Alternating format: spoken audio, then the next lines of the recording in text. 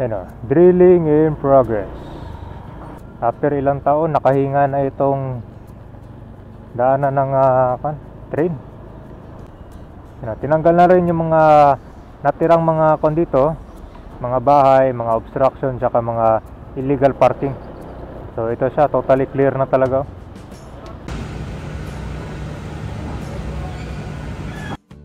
Naglalagay na sila ng bakod at kiniklear ito mga ibang debris dito. Ito na pagsisimula ng PNR sa Metro Manila.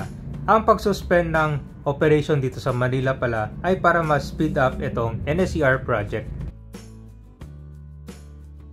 Nasuspend ang operation from Entutuban to Alabang naman last March 28 naman.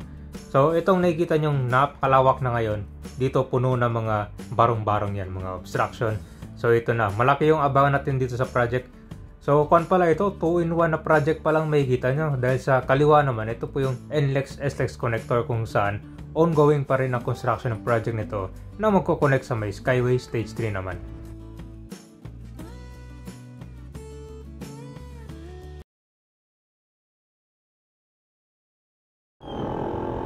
Nandito na tayo sa Old Antipolo Street. Pumunta tayo ngayon dito sa ilalim nitong expressway. Tingnan natin kung ano na yung ah, itsura ngayon dito. Ito yung nagkaroon ng ah, clearing din dito sa ilalim para gagawin itong expressway sa taas.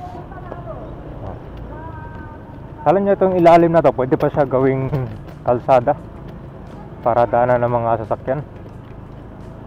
Pero ngayon pala napuno siya ng mga obstruction no? Saka mga parkingan dito sa ilalim no?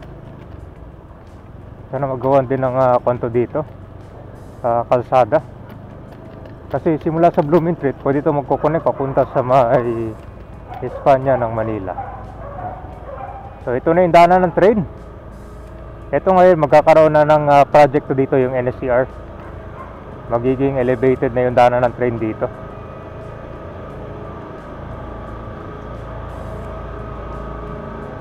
Ito yung mga bahay na nawasak oh. Grabe. Biglang lumiwanag itong ilalim dito. Nung nagkaroon na ng ah, project.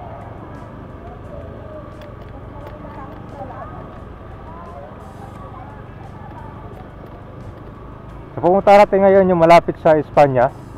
Tingnan natin kung gaano kadami na yung mga bahay na demolished dun. Ito na yung uh, Dimasalang Bridge. Pero at least ngayon, napapakinabangan na tong ilalim dito. No, dati kasi puno ng mga informal settlers dito malapit sa daanan ng train. Kitang-kita mo dito kung gaano kalawak na itong daanan ng ah, train. Tapos naglagay na rin sila ng uh, kon dito, pader or bakod. Ah, dito malapit sa daanan ng train. So ito siya, hindi na basta makapasok, labas yung mga tao dito. Dahil nakaharang na. So dito naman, ewan natin kung gaano kadami yung bahay mga ma-demolish kasi dito yung kung eh, daanan ng NSCR project. So magiging ko na to siya, elevated. Grabe yung ah, lawak na dito. oh. Hindi mo akalain na yun dati puno ng bahay. Ang lawak na ngayon. Oh, diretso na to doon hanggang sa may ah, lampas ng Dimasalang Bridge.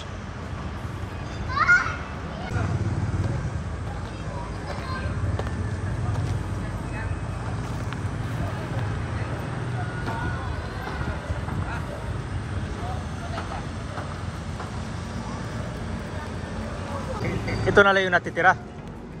Para ga-. Ah, so parang gagawin din concert kalsada dito. Nilagay na nila ng concert pader. Ah, nang mall nila kasi para may baka para ma- hindi makita yung sa loob. Lagyan nila ng pader para hindi makita yung Pero makakadaan yung sasakyan dito. kakadaan po. Diretso yun. Anong itsura nito dati sir nung hindi pa Ah, kung po to, mga bahay po yan dyan. ah, puro bahay dito? Ah, dito bahay din? Ang dami pala. Mga squatter o legal? Legal. Ah, may mga squatter din. Binayaran po yun sila eh. Ah, yung mga squatter sir dito meron din. Opo, yung pinadira na yan, Oo. bahay po yan. Ah, puro bahay ito dati. Opo, gilid yan. Ang ganda na tignan dito sir, malawak na no? Opo, malinis na yan. Malinis na. Mga bahay dyan. Ah, yun na lang na sana gawin ng ah, concert. Ah, pa dito, dito meron din pader pala. Kaya lalagyan dyan no? Ah, lahat yan. Na yan. Ah, nandito na tayo sa may PNR ng Espanya Station. At ah, ito na ngayon ang ah, sitwasyon dito. Wala nang operation yung ah, PNR ah, para sa construction ng NSCR. So kung mapapansin mo dito sa kabila, ano, tuloy pa rin yung ah, ginagawang construction dito para sa NLEX SLEX ah, connector project. Ano. Kita mo gaano kalawak na dito oh. So ito, inahanda na rin tong release dito kasi magkakaroon ng elevated or yung ah, daanan ng train. Alright, so nandito na tayo sa... Oh, grabe. Dami ng mga... Ano? Ah, nandito na tayo sa Algeciras Street. So, nagkakaroon na rin pala ng clearing dito sa may release ng PNR. Ah, ito, naglalagay na sila ng bakod do. So magsisimula na rin yung pond dito, yung NSCR. Yung mga poste pala dito, tinanggal na, nilipat na dyan, no? Ay, yung mga bagong poste. Para yan dito sa mga wirings, nilipat na nila. So, ilang taon ang eh, kung ito ang gagawin para sa NSCR?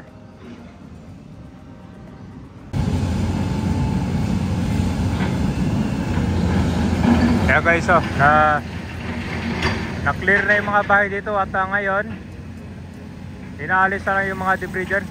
Patuloy ang ah, clearing operation habang ah, naglalagay na sila ng uh, dito, bakod.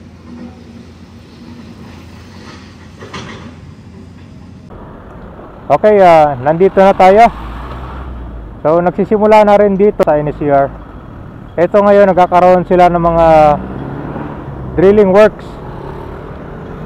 Tapos kiniklear na rin yung mga debris dito para sa NSCR project. Grabe, halos magkasabayan pala itong dalawa oh.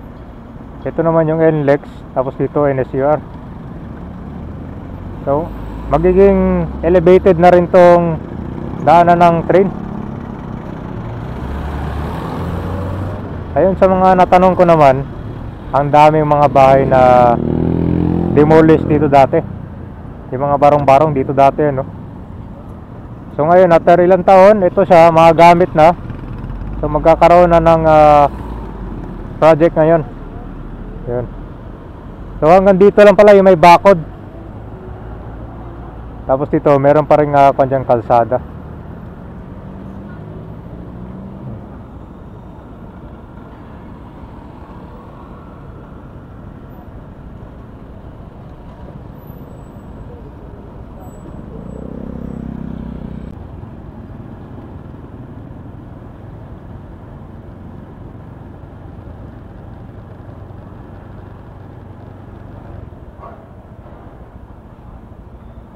Ano, drilling in progress. Ayan, so itong huling sulyap dahil ko na to, babakura na nila. Ito guys, dito na tayo sa kabila. Ganon din dito, na-clear na yung mga bahay oh. Di ba? Grabe. After ilang taon, nakahinga na itong daanan ng ah, kan, train. Yan, sa mga excited dati. Grabe. Halos puro basura to dati oh. Grabe oh. Sa isang iglap na demolish agad.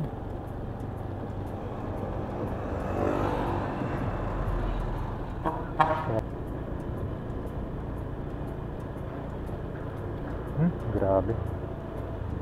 Siguro dyan sa ilalim ng NLEX, pwede gawin siya ng kalsada no? para madara ng mga sasakyan no? Or para hindi lang sila pwede hindi lang sa NLEX sa daan sa expressway.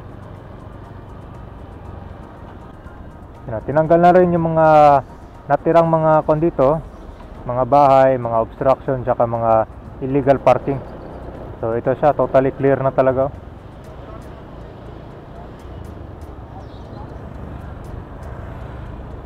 Okay, nandito na tayo malapit sa G Tuason. So dito lang yung mga natitirang merong mga ah, gamit pala no kasi magkakaroon na rin dito ng ah, clearing. Pero dito, kailan magsisimula yung clearing dito? Ah, papunta na rin dito? Grabe yung lawak dun sa unahang kabayo, no? Di ba?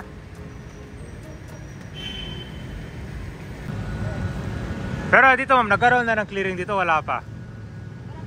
Ah, wala pa? Ah, sinabihan na? Oo.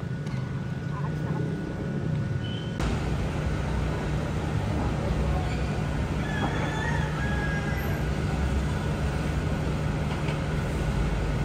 Ito yung kan eh, mga ilang metro simula dito sa may release ng PNR pero abutin niya hanggang dito. Ah, So matatanggal din itong mga sasakyan na nakaparada dyan.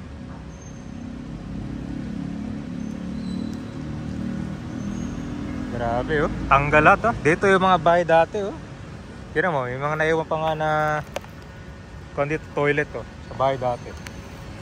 Kasi ito, napuno rin ng mga basura dito, gabundok.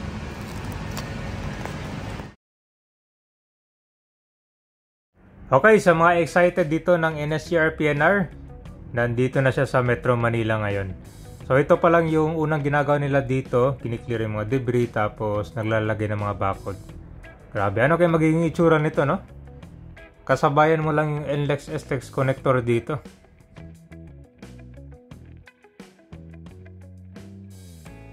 Ito, merong on-ramp na malapit dito sa Algeciras Street. So, rekta na ito pa-connect sa may NLEX SLEX Expressway. Grabe, after ilang taon din, nung ah, hindi nagkaroon ng developments dito. Pero ngayon, grabe. 2 in 1, halos sabay. So, mas mag-improve na yung daanan ng train dito dahil naka-elevate na siya. Saka, yun, mas mabilis na rin ang travel time.